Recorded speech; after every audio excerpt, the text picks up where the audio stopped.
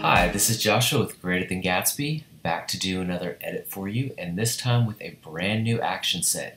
This set is called the Cult Classics Collection, and as you may know, each of my sets kind of have a tonal theme, and this one is definitely rich and warm. And so I've got this photo for you, perfect for a fall edit. I've had a few people ask about something that's maybe not out in the field, so tried to do something a little different with this one. This was actually shot by a photographer named Cindy Arthur. She did our family photos, and this was part of the session. So I'm going to go ahead and start with editing this one. I'm going to start with one of our one-click foundations. Let's do There's No Crying in Baseball. And as you can see, that gave it a nice little pop, really clean, and a great starting place for us. The next thing that we're going to do is go into the artistic color tones. For this one, I am going to select Bend and Snap play that. It is a little strong, so I'm going to back that down to about 75%. Normally I play a couple of these, but I actually just kind of like what that one did, so let's just kind of keep moving down the set. The next one is one of our movable sunlights. We have variations of these in, in different sets, but this one we kind of made something that would be perfect for the, the rich warmth of this set, so I'm going to play Clockwork Orange. And I'm just going to drag it up into the corner a little bit. That is a little bit bigger than I want, so you can move over here to the dialog box and bring the size down on the percentage scale, so that's what I'm going to do. I actually like where that is, so we'll click OK. And I need to do a little masking, so I'm going to make sure I grab my brush tool and set the foreground color to black since we are on a white layer mask, and I'm going to mask some of this off. So use my bracket key to make my brush a little bit bigger and make my opacity about 60%. And I am just going to brush it off their faces because the sunlight is coming back here through the porch. You can tell directionally right here where the sunspot is. So I just want to make sure that there's no sun where there actually wouldn't be in the photo. And uh, let's take it off this brick right here as well because it would not be there either.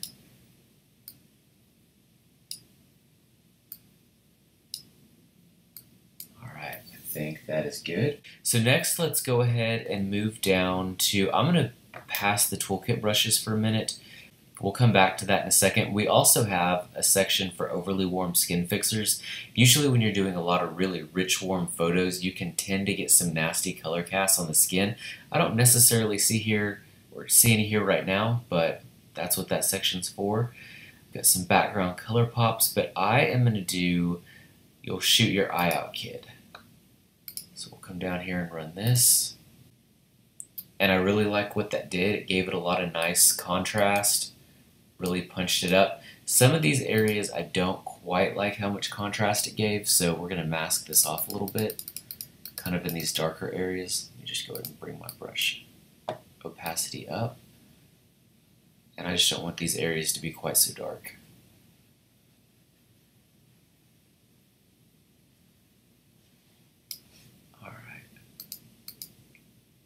That is better. Actually, I'm going to run one of the other special effects. We're going to run Why is the Carpet All Wet Todd? And if some of these names seem a little odd, Cult Classics Collection, movie quotes, we just kind of had some fun with it.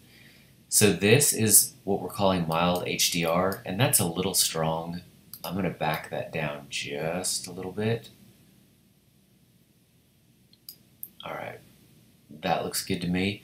All right, so let's go up here and we're gonna add some pops of light in a few places because again, it's a little too dark right now in some of these spots. Again, this is things you have to do when you're, you know, shooting on a porch or around a house.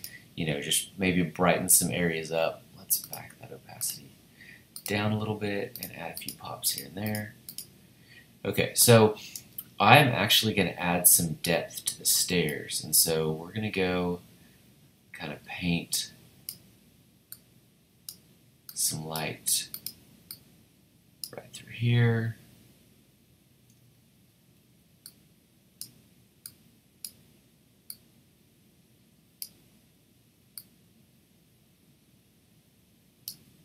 Just give it a little bit more interest and depth.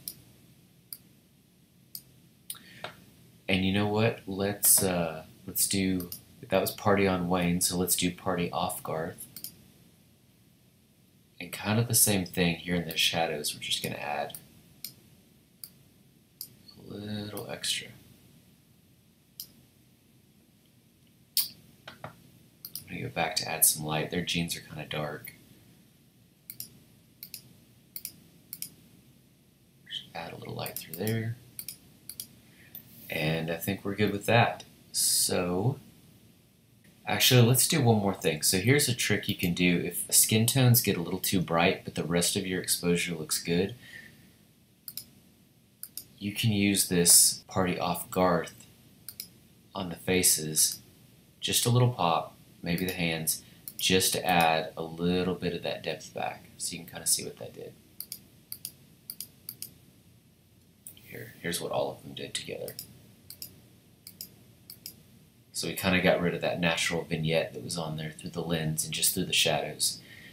All right, I think that looks good. We're going to do a little dodging and burning now. And so let's go to intensify the highlights. And it says right here that it's auto-selecting your dodge tool. And it says to run your exposure around 3 to 5%. For the sake of this tutorial, I'm going to go a little bit quicker. And so let's just up it to around 10%. So I'm going to come here, let's just start maybe with the pumpkins and uh, kind of go where the natural highlights would be. Just paint it on.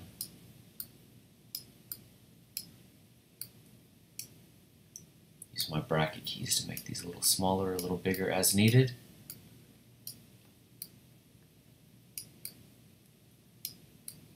And again, for tutorial sake, Probably not going to do maybe as much as I normally would do, but uh, want to do enough to where you can get the idea.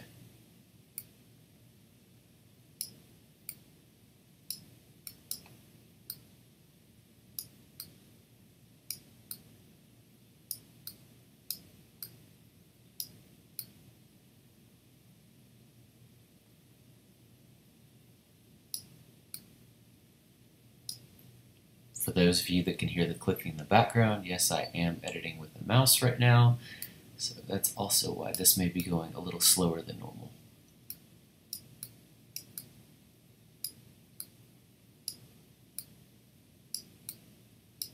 Just going over anywhere on their clothing where there's kind of a natural highlight.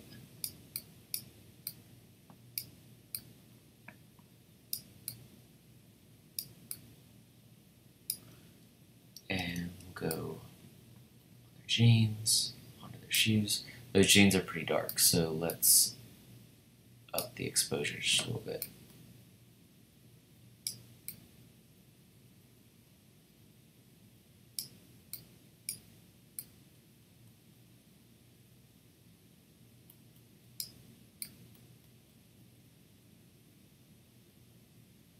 Here's another trick if you are using or trying to dodge and burn on really dark clothing, you can even come up to the party on Wayne, add light, and you can just even add some light with this onto their clothing.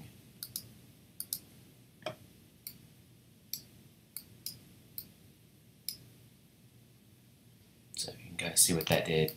Sometimes that even works a little bit better than a typical dodge and burn, although here's, you know, how it looks with, with the actual dodge and burn. It typically looks a little bit better because it's attacking just the midtones and not the highlights, midtones, and shadows, but for dark clothing, a lot of times this party on Wayne will work really well. So now that we've done that, I'm going to go and we are going to deepen the shadows. And kind of the same thing, but in the opposite spot. So anywhere there is a shadow, I'll come in on these pumpkins. Dodging and burning always works really well on pumpkins. I don't know why.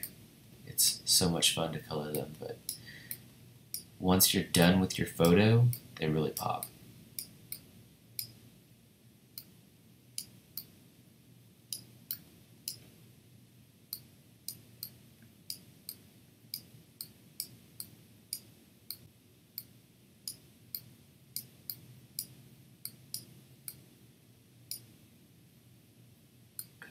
clothing a little bit.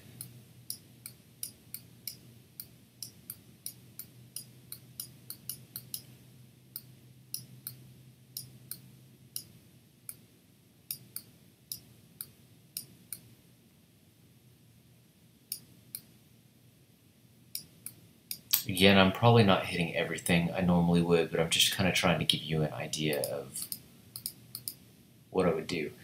So with that, let's come back up here to the color casts. Oh, right there. And let's go to the orange cast. These pots are kind of driving me nuts because they're really bright orange. Just take some of that color out of there. And I'm going to come back in and I'm going to add light on just a few more things. I know I've used this party on Wayne thing a couple times, but I need to brighten up some of the pumpkins and the flowers just a little bit more.